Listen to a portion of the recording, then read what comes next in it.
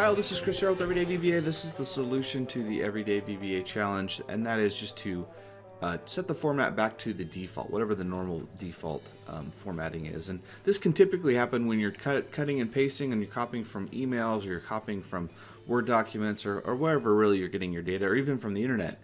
You're going to come back with really funky formats. It makes your it makes your data look uh, it just makes it not look as clean. So this one's actually fairly straightforward. I have this set up as a table. I do love tables just because their formatting is really nice. It makes them very easy to read. Um, so I highly recommend using those. Okay, this one's really cool because we're going to, it's really pretty simple. We're just going to record it and then we're going to tweak the recording. Um, so we're going to just dig right in and get that done. So uh, first thing is we got to go to the developer. We're going to go to the record macro. We're going to record it in this workbook. We're going to call this um, default format. That's all we're going to call it. Um, we're going to save it in this workbook. It's going to create the macro for us.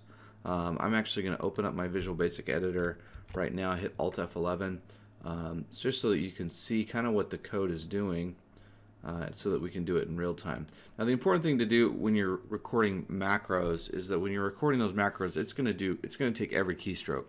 Now I didn't take Alt F11 because that's not necessarily a keystroke, that's just opening something.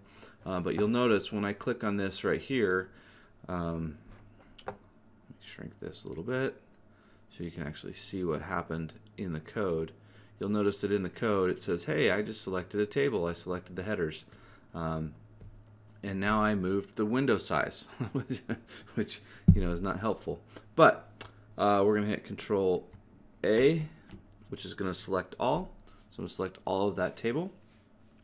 And then we are going to, um, I'm, I'm basically just showing that so that you can see that that's how that works. Let us go to home. We're going to make this bigger.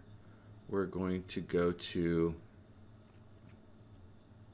uh, cells and I just want to set it to normal. Now, if you have this expanded, a lot of times this actually will show up on your screen, but I've, I recorded this smaller so that it doesn't, um, so that it's bigger on the screen. So once I hit normal, um, it's going to set that to the normal text.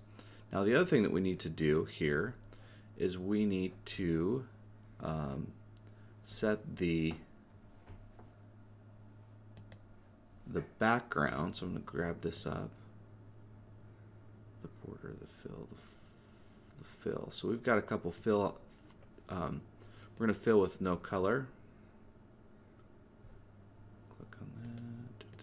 No color, and that'll get rid of that. So now we've got that completely recorded. Now what did we record? So let's just go take a look, and we're just going to clean this clean this code right up. Now before we do that, we need to make sure that we turn it off. So you, you should have a stop button down here. I'm just going to go ahead and click that. You also have that in your developer. Um, if you click on developer, you're going to have this little stop button here. You don't want to you don't want to be editing your code while it's recording because um, you could end up uh, with some uh, with some you end up what happens is you end up recording over yourself and ends up kind of being a mess so let's go ahead and just dig into this and see what we did so the first thing that we're going to do is we're going to get rid of this we're just going to say that we're going to we're going to we are going to um, we're going to go selection dot current region and the and we're also going to set that to a range, right? So let's let's actually throw in some some objects here. So we're going to go dim RNG as range, RNG. We're going to go set RNG equal to uh, the current region. Now the reason you use set is because you're doing an object. And so what we need to do is we're going to copy all of this out because we don't need it. We don't need to change the size of the application. All we need to do is we need to set that that range, um, the style equal to um, equal to normal. Now, um, you'll also notice that when you're recording macros, sometimes you get these long with statements. Um, and some of this stuff you need, some of it you don't.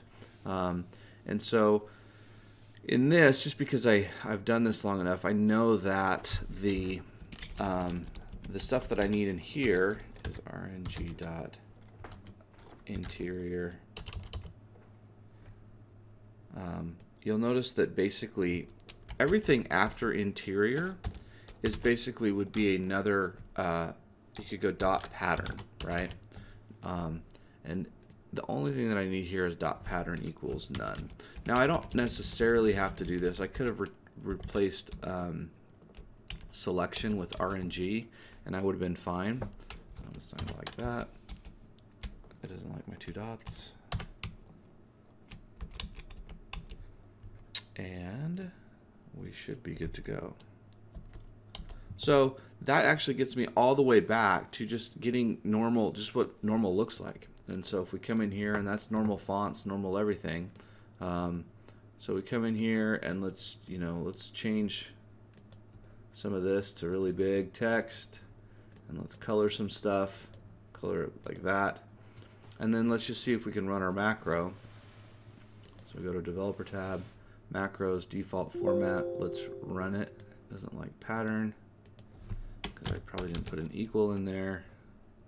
Let's run it now, and you'll notice that that sets it all the way back to whatever the default format is. Now, if you're doing this one time, um, you don't need to do this. But if you're copying and pasting and you have code that's tied to it, this really does make it look a lot nicer and a lot cleaner. So that is your Macro Monday solution. I hope you enjoyed.